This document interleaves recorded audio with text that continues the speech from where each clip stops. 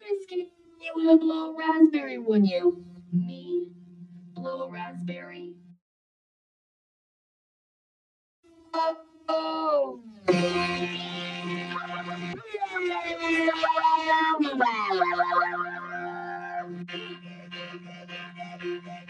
Hey, that actually felt pretty good.